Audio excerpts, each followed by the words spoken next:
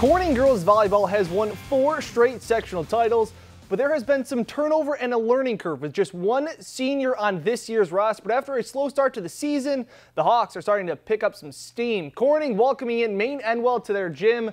The Spartans would take the first set, so we jump right to the second. Lady Hawks on the answer. Megan Fee winding up and the slam. The lone senior leading the way, one of her six kills. First point goes to Corning. And then check out this defense. Spartans looking for the kill, but they would run into the wall of Kelsey Taylor once and twice. There it is. Taylor with the incredible individual effort, and the Hawks were up two to one. Corning would start to pull away in the middle of the set. Bump, set, spike. That's how Irene Fernez likes to draw it up. Sophia Segara with the winner. Set point for Corning. ME serving, but pretty set there right here by Ashley Esmond to Taylor with the perfect placement. Hawks take the second set and win the final three to get the win. Corning moves to 8 and 4 on the year.